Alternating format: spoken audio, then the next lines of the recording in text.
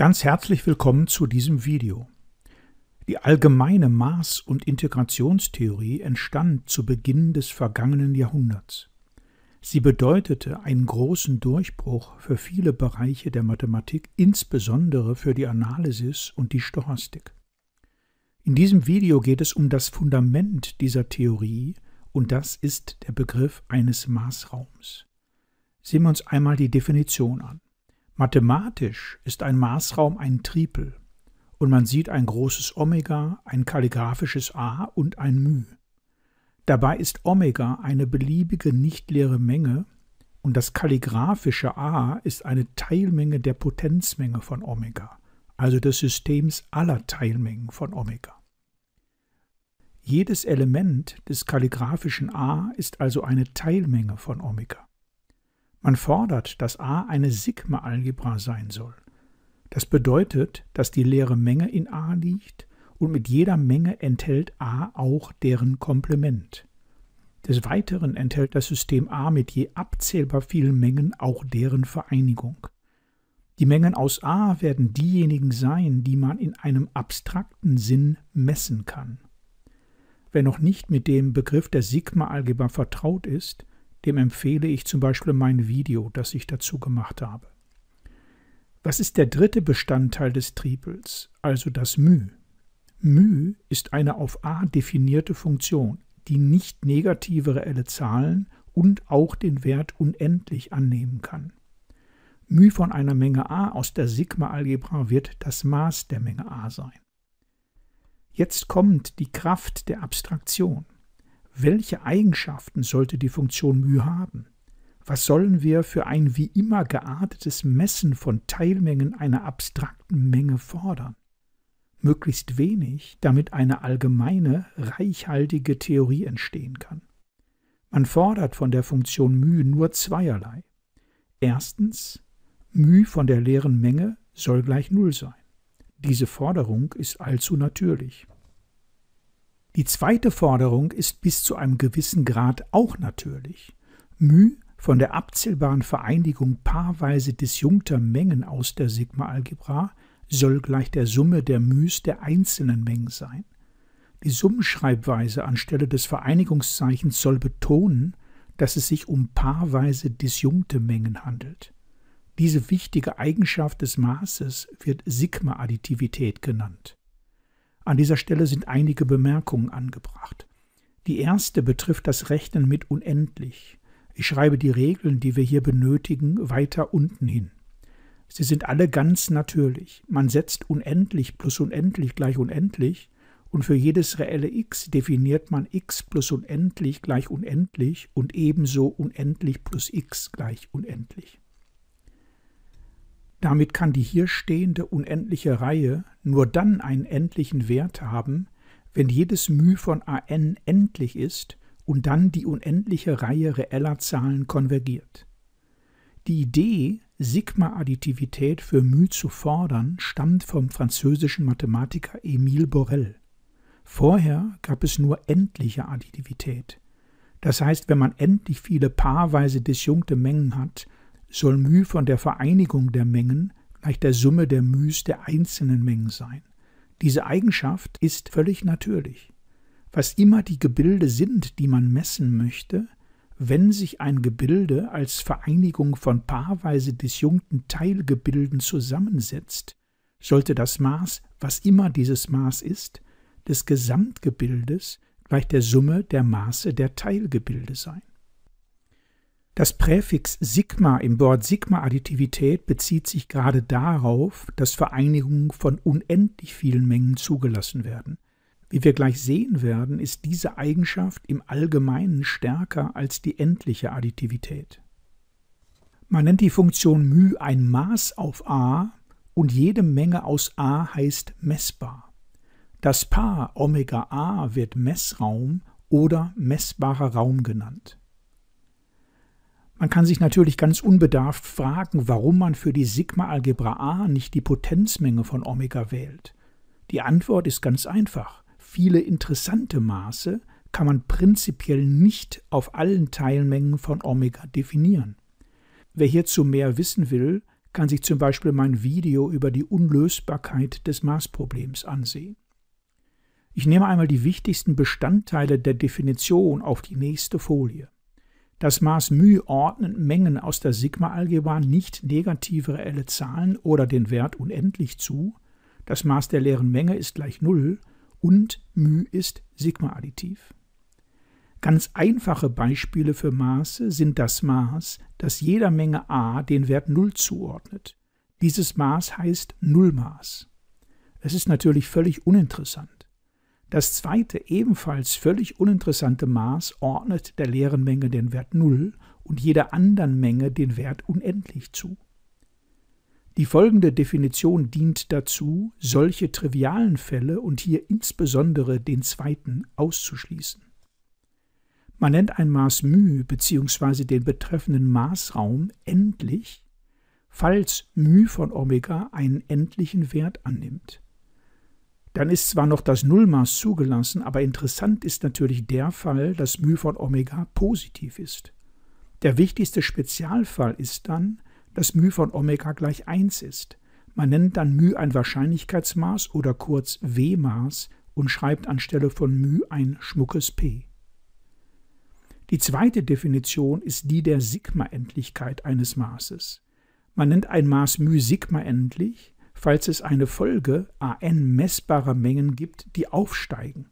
Das heißt, es gelten diese Teilmengenbeziehungen und jedes Element von Omega in mindestens einem an liegt. Dafür schreibt man oft so und sagt, die Folge an konvergiert von unten gegen Omega. Und jetzt kommt es, jede der Mengen an hat ein endliches Maß. Man sieht sofort, dass jedes endliche Maß auch Sigma endlich ist, denn dann kann man für jedes n an gleich Omega setzen. Wie das nächste von weiteren Beispielen zeigt, gilt die Umkehrung jedoch im Allgemeinen nicht. Wir betrachten ein Maß μz, das einer Menge a die Anzahl der Elemente von a zuordnet, falls a eine endliche Menge ist, und ansonsten den Wert unendlich. Man nennt dieses Maß das Zählmaß. Damit das Zählen Sinn macht, setzt man hier voraus, dass die Sigma-Algebra A alle endlichen Teilmengen von Omega enthält. Das Zählmaß ist natürlich nicht endlich, wenn Omega eine unendliche Menge ist, aber, kleine Übungsaufgabe, es ist Sigma endlich, und zwar genau dann, wenn die Menge Omega abzählbar unendlich ist. Ein weiteres Maß, genauer ein Wahrscheinlichkeitsmaß, ergibt sich, wenn man für ein festes Omega Delta Omega von a gleich 1 setzt, falls die Menge a das Omega als Element enthält, und ansonsten ist Delta Omega von a gleich 0. Man nennt dieses Maß nach dem französischen Physiker Paul Adrien Maurice Dirac das Dirac-Maß oder die Einpunktverteilung im Punkt Omega. Wie wir jetzt sehen werden, ist das Dirac-Maß Baustein vieler Maße. Zunächst nochmal als Memo die entscheidenden Eigenschaften eines Maßes. Stellen wir uns vor, wir hätten eine Folge von Maßen und eine Folge positiver reeller Zahlen. Wir werden jetzt durch Addition und Multiplikation ein neues Maß konstruieren. Dabei vereinbaren wir folgende naheliegenden Rechenregeln. Für eine positive reelle Zahl x sei x mal unendlich gleich unendlich und auch unendlich mal x. Wir setzen jetzt μ von a an als diese unendliche Summe. Jeder der Summanden ist jetzt wohl definiert und die Summe nimmt nur dann einen endlichen Wert an, wenn jeder Summand endlich ist und dann die Reihe reeller Zahlen konvergiert. Behauptet wird, dass μ ein Maß auf a ist. Offenbar ist μ von der leeren Menge gleich Null, aber was ist mit der Sigma-Additivität?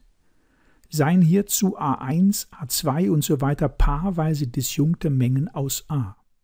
Wir müssen zeigen, dass μ von der unendlichen Vereinigung der an gleich der Summe der μ von an ist. Wenn wir uns die Definition von μ ansehen, ergibt sich zunächst dieses Gleichheitszeichen. Die Summe über j und das bj übernehme ich und wegen der Sigma-Additivität von μ haben wir dann diesen in eckigen Klammern gesetzten Ausdruck. Auch hier übernehme ich die Summe über j und das bj ziehe ich in die eckige Klammer. Nehmen wir einmal an, wir könnten die beiden Summen vertauschen, dann hätten wir zunächst die Summe über n und dann diejenige über j. Dann wären wir aber fertig, denn dieser unterklammerte Ausdruck ist nach Definition nichts anderes als μ von an.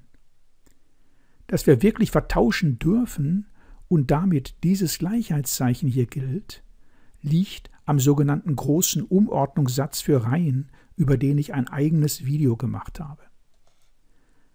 Natürlich gelten diese Überlegungen auch, wenn wir mit nur endlich vielen Maßen starten, also im hellgrünen Kästchen eine endliche Summe steht.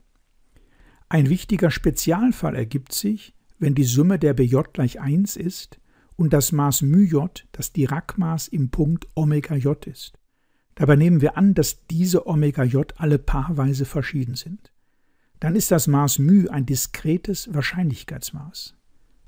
Anschaulich gesprochen haben wir im Punkt Omega j die Wahrscheinlichkeitsmasse bj angebracht. Auf diese Weise entstehen alle diskreten Verteilungen, die man in der Stochastik kennt, wie etwa die Binomialverteilung, die Poisson-Verteilung oder die Multinomialverteilung. Ich möchte noch einige grundlegende Folgerungen beleuchten, die sich aus der Definition des Maßraums ergeben. Zunächst noch einmal als Memo die definierenden Eigenschaften eines Maßes. Und wir werden gleich diese Schreibweise für sogenannte absteigende Mengenfolgen verwenden. Man sagt, die Mengenfolge an konvergiert von oben gegen a genau dann, wenn für jedes n die Menge an eine Obermenge von an plus 1 ist das heißt, die Mengen werden anschaulich immer kleiner und der Durchschnitt aller AN die Menge A ist. Sehen wir uns mal einige unmittelbare Folgerungen an, die sich aus der Definition eines Maßraums ergeben. Sind A, B, A1, A2 und so weiter messbare Mengen, so gelten a. μ von einer endlichen Vereinigung paarweise disjunkter Mengen ist gleich der Summe der Maße der einzelnen Mengen. Hierbei ist k eine beliebige natürliche Zahl größer gleich 2. Diese Eigenschaft nennt man die endliche Additivität von μ. Sie folgt unmittelbar aus der Sigma-Additivität, wenn man im Memo oben rechts jede der Mengen an mit n größer als k gleich der leeren Menge setzt, weil die leere Menge das Maß 0 hat. Folgerung b.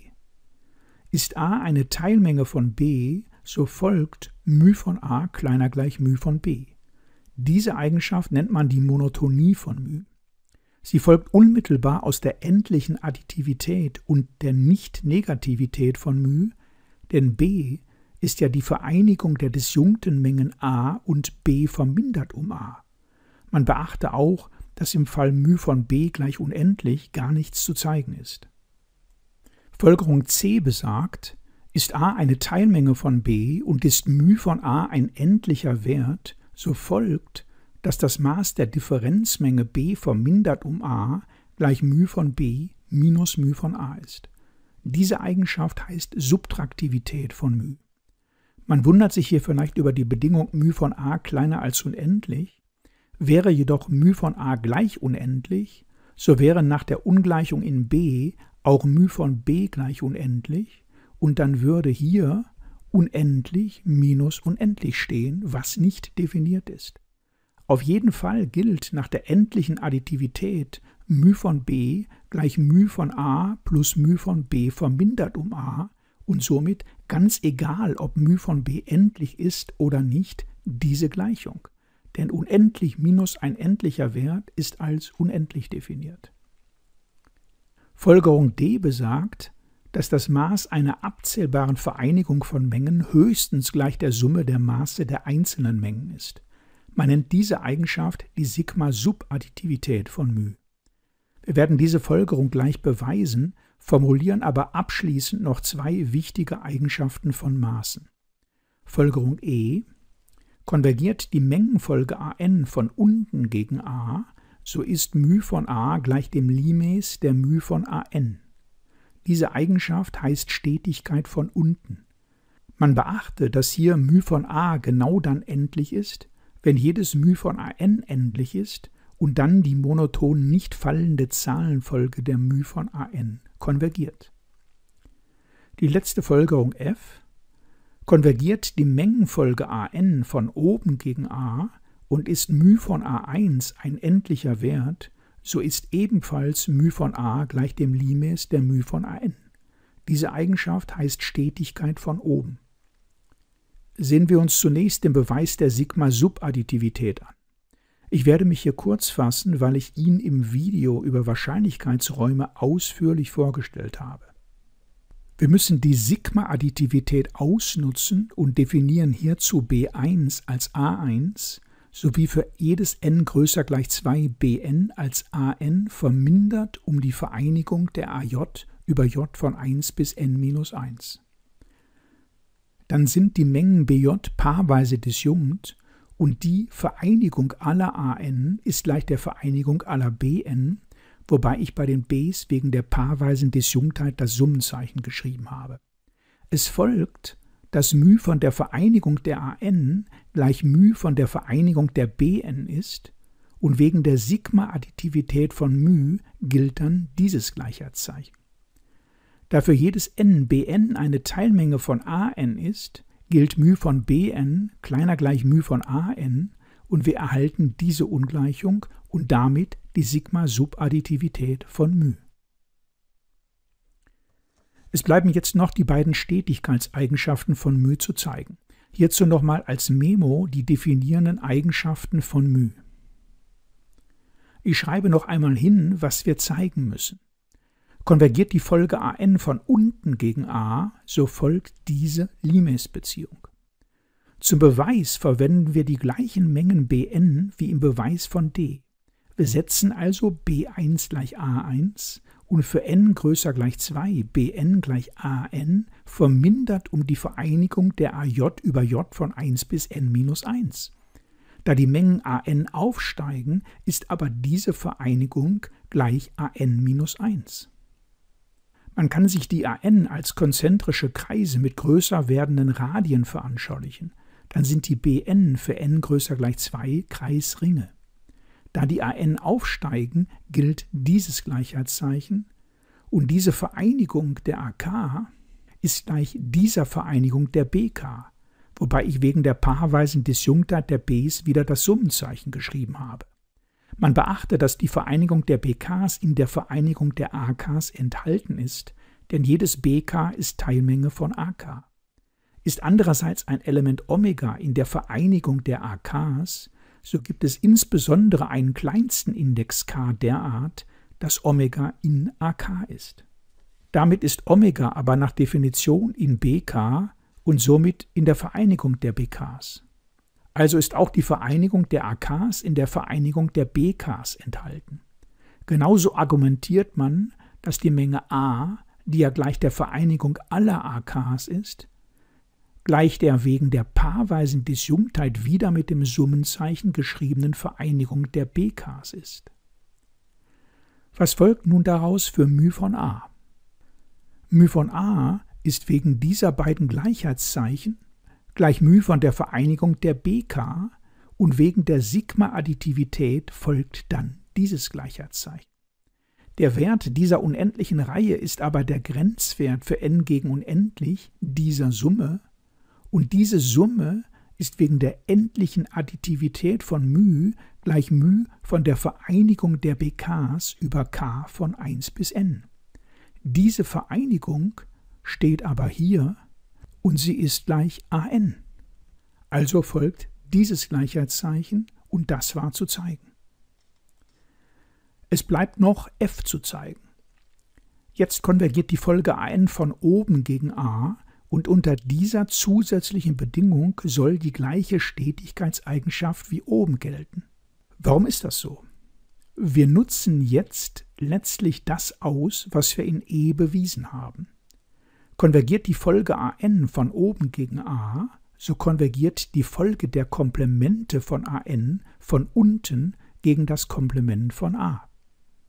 Schneiden wir jede der Mengen mit a1, so konvergiert diese Folge von unten gegen a1 geschnitten a Komplement. Das Schöne ist, dass jetzt alle Mengen als Teilmengen von A1 ein endliches Maß haben. Wir werden jetzt Teil E ausnutzen. Zunächst folgt wegen der Subtraktivität μ von A1 minus μ von A gleich μ von A1 vermindert um A. A1 vermindert um A ist aber A1 geschnitten A Komplement und aufgrund dieser Beziehung hier und Teil E gilt dann dieses Gleichheitszeichen. μ von A1 vermindert AN ist wegen der Subtraktivität gleich μ von A1 minus μ von AN und somit ist dieser Grenzwert gleich μ von A1 minus diesem Grenzwert. Schaut man jetzt an den Anfang dieser Gleichungskette, so folgt die Behauptung. Damit man sieht, dass die Bedingung μ von A1 kleiner als unendlich wesentlich ist, hier ein instruktives Beispiel. Es sei Omega die Menge der natürlichen Zahlen mit der Potenzmenge als Sigma-Algebra und es sei μ das Zählmaß. Ist für jedes n größer gleich 1 an die Menge aller natürlichen Zahlen, die größer oder gleich n sind, so konvergiert die Mengenfolge an von oben gegen die leere Menge. Da jedes an unendlich viele Elemente enthält, ist μz von an für jedes n gleich unendlich und konvergiert somit nicht gegen Null. Null ist aber das Zählmaß der leeren Menge. Damit sind wir am Ende dieses etwas längeren Videos angekommen. Ich bedanke mich ganz herzlich fürs Anschauen, für Hinweise und konstruktive Kritik bin ich natürlich wie immer dankbar.